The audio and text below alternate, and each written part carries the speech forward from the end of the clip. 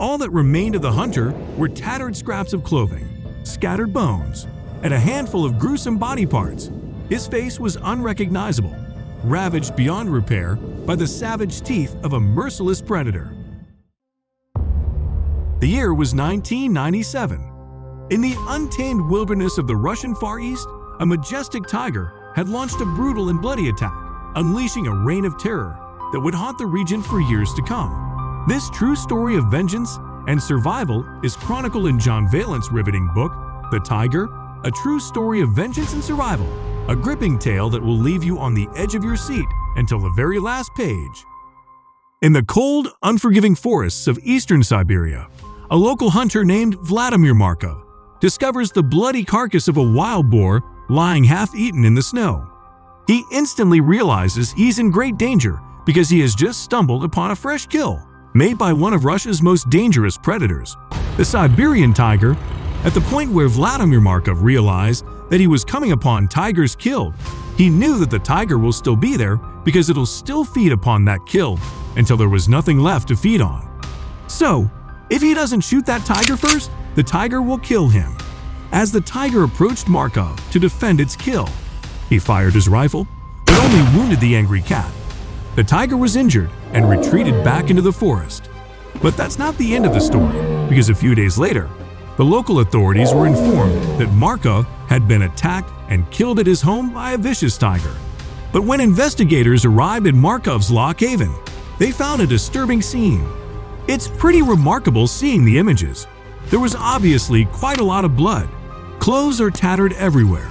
Often when tigers kill people, it's not necessarily for food, but that in Markov's case, the tiger ate everything it possibly could have had of him.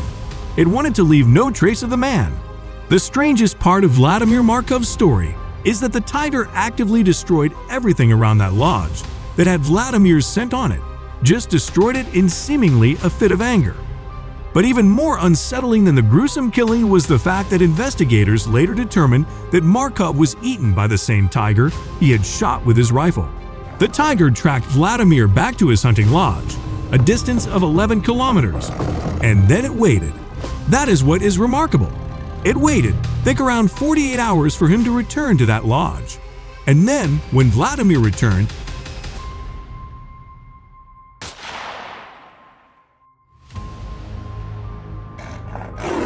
It killed him. The story of Vladimir Markov's death at the hands of a deadly tiger is frightening.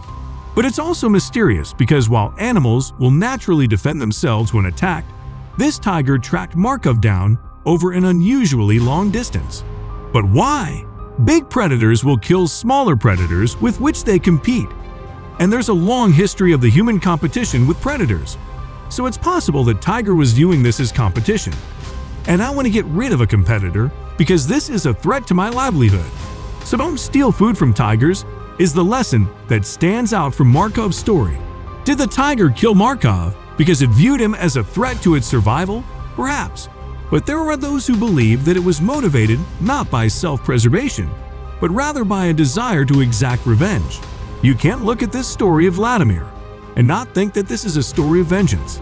The tiger stopped at Vladimir's cabin it waited for Vladimir to return home for the attack.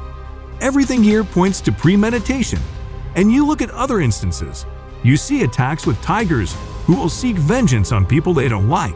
These animals can feel these emotions. All animals have neurochemical responses, which are remarkably similar across all sorts of species. They feel emotions are feelings that influence behavior exactly the same as we do. Do not mess with the tiger. It's going to come after you. Markov will have known that when he shot that tiger and it didn't die, he knew that his time was up. This tiger has the ability to hold a grudge against a single individual for over 48 hours and then take its revenge. We have taken dominion over nature in many ways because of our technological developments, but we are still a part of nature, and we are still occasionally on the menu of bigger and stronger animals, such as tigers. It's chilling to think that a tiger could actually have a vendetta a score to settle with human beings. In recent times, we have seen countless examples of animals standing up against the ruthless and inhumane actions of poachers. From lions fiercely defending their territory against hunting camps to rhinos taking charge and charging back at their attackers. It's as if these animals have had enough and are fighting back against the injustices inflicted upon them. Even tigers have been known to turn the tables on their human counterparts, showing that no one is invincible in the face of nature's wrath.